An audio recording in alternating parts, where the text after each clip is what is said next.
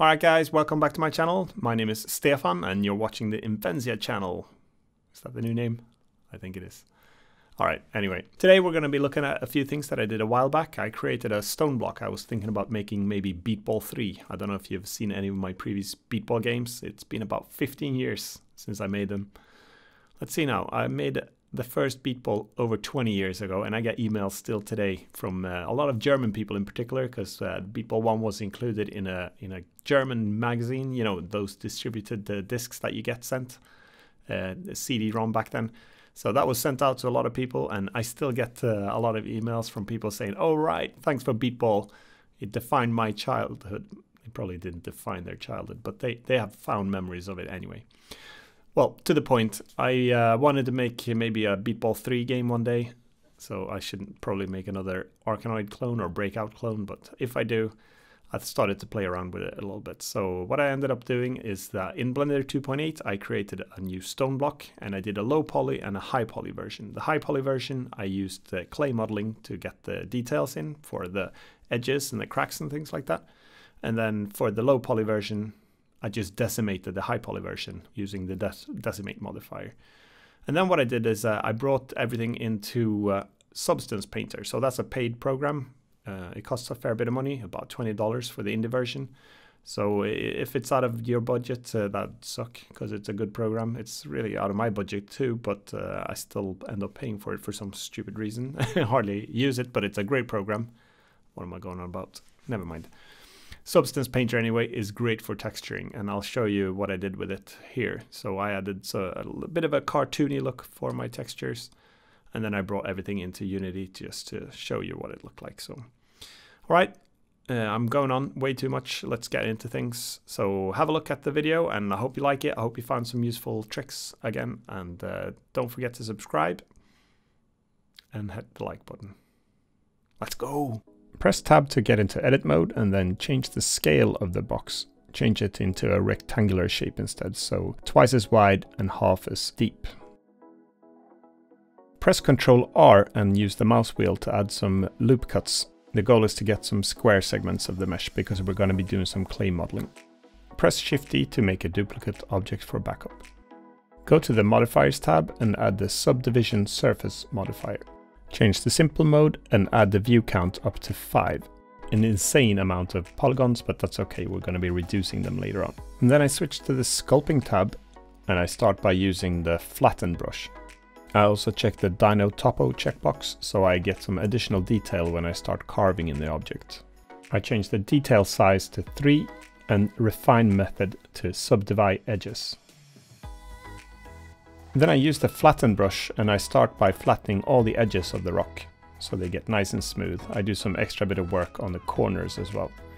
I speed up this in the video because it's basically a repetitive process over and over again and just go over all the edges, smooth them out and flatten them out with, with the different brushes. By default, symmetry on the x-axis is enabled so all the movements are duplicated on both sides. And after you've got a general shape, you can switch off the symmetry and start introducing some irregularities into your stone. You can switch between the different brush types when you do clay modeling. I switch between the flatten and the smooth brush quite a lot to refine the edges. I'll keep this section fast forwarded. Uh, I just go over the edges over and over again and I play around with the different uh, clay tools so I get a look that I want.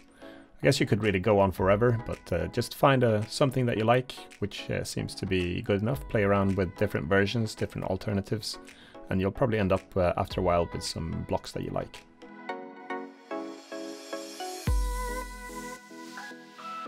I also sharpen up the edges a little bit by using the pinch tool and going around the edges. That gives them a little bit of a sharper and more distinct cartoony look, I think. So it's up to you how you want to do it, but I use the pinch tool at least on the sides as well.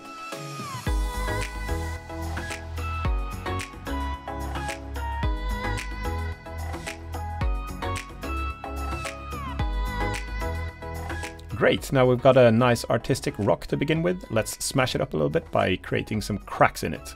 And for this I use the crease tool. Don't forget to have the Dyntopo checkbox marked and also that you have a low enough setting for the details. I, I use 3 pixels If you don't have that, then the cracks will not look so good. Uh, you definitely need to add the details using Dyntopo during the stage. At the top bar, you can change the radius and the strength for the tools as well. I alternate this a little bit as I go, so sometimes I want it to have less strength and sometimes I want additional strength or a larger radius.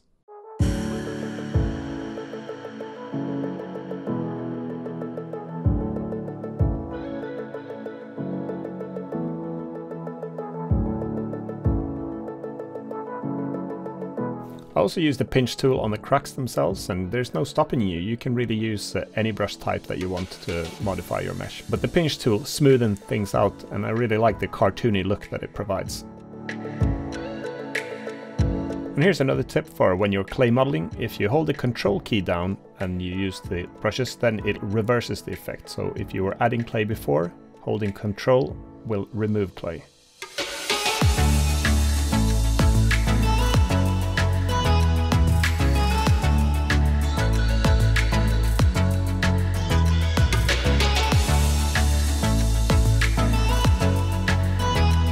Okay, so the highly detailed mesh is now finished, so make a copy of it and call it LP for low poly or something like that. And then you add the decimate modifier. And we have a tremendous amount of polygons, so we're gonna significantly reduce that and hit Z on your keyboard and switch into wireframe mode so you can see the mesh better. You probably won't be able to use the slider, so manually type in the value I type in the value 0.001 first, but even that's too detailed, so I drop it down to 0.0005 in the end. In the decimate modifier, you can also see the current face count, and anything under 200 is pretty good, I guess, for a block like this. Now we're done in the wireframe mode, so you can hit Z again and switch into look dev or into solid mode again. And we've finished all the modeling, so let's switch into the UV editing tab, go to the UV drop down and select smart UV unwrap. You can probably use the default settings, but I dropped the angle limit a little bit so I get more separated meshes to utilize the UV space a little bit more. It's a bit redundant for this block, but I actually use a plugin called UV Packmaster, and uh, it helps me to utilize the UV space a little bit better. Blender is pretty good at distributing the polygons, but uh, this uh, additional plugin can actually pack it a lot better, so you can use even more space for your texturing. I'll put a link in the description below to the UV Packmaster plugin. And finally we're done in Blender, so I export the low and the high poly versions of this block into separate FBX files that I'll be bringing into Substance Painter for texturing.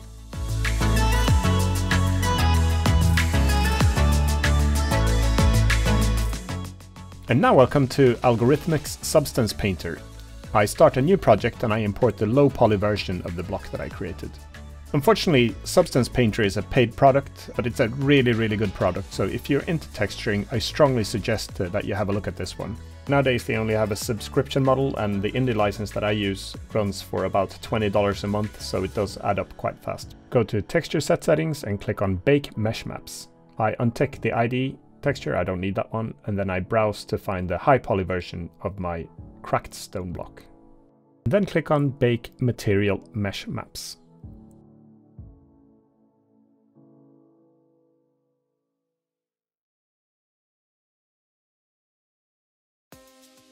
I click on the layers tab again and then I add a new fill layer. And for the base color I like to go for a dark grey and uh, I prefer a blue tint to it as well. I think that looks a bit cartoony as well. And this one shouldn't be so shiny so I also changed the layer's roughness value into a higher value so it's not so reflective anymore. I down the metallic value as well for the same reason. And then I add another fill layer and I pull up the roughness again and I change the color once again to a grayish blue color, but this time a little bit brighter. And I right click on the layer and then I add a black mask. And then I right click on the black mask itself and I click on add generator. And I click on the generator button and I edit the mask. The mask editor already comes with a set of default values, so as you can see the block already has some wear and tear on the edges where you can see the brighter parts shine through. On the right here you can see that you can affect a lot of these settings by pulling the sliders to have the effect increase or decrease. You can affect things like curvatures and things like that. For this block I ended up just playing around with the settings and I changed the color back and forth from dark to bright. And uh, I also tried to invert the mask back and forth to see what type of a look I wanted to have. So I also toyed with the idea of having worn edges as well as sort of dark parts in the cavities. I guess there's no real right or wrong things to do in here. You play around with the sliders to find some settings that you like.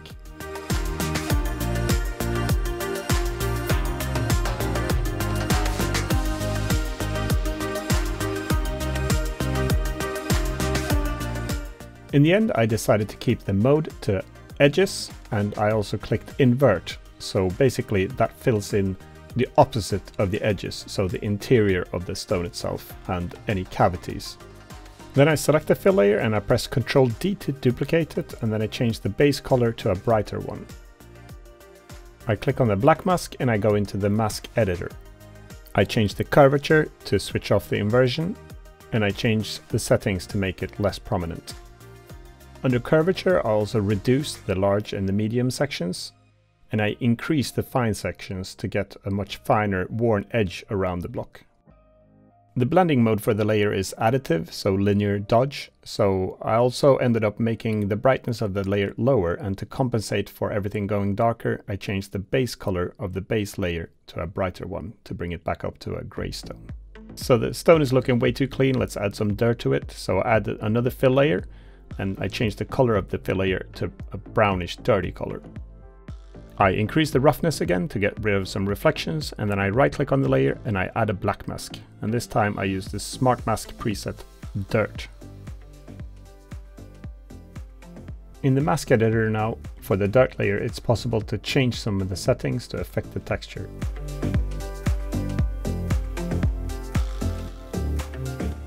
Here I change the slider for the texture scale to make the dirt a little bit bigger. And I reduced the contrast a little bit to make it less prominent. And as usual, I can never make up my mind, so I kept playing around with the scale, the brightness and the contrast sliders until I got somewhat happy.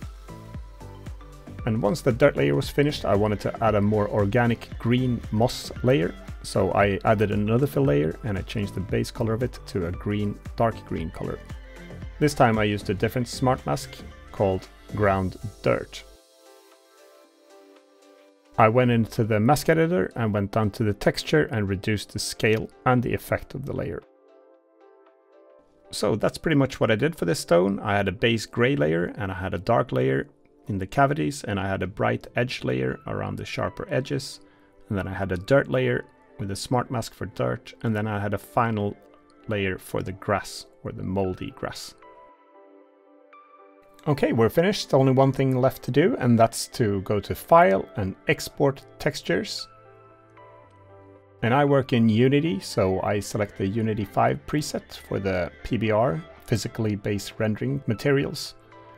And then I uh, just check that all the maps are included and I export the maps as individual PNG files. This includes the albedo map for all the colors, it includes metallic map for the shiny areas and the roughness, and it also includes a normal map. And all of those were baked from the high definition mesh that we created using the sculpting in Blender.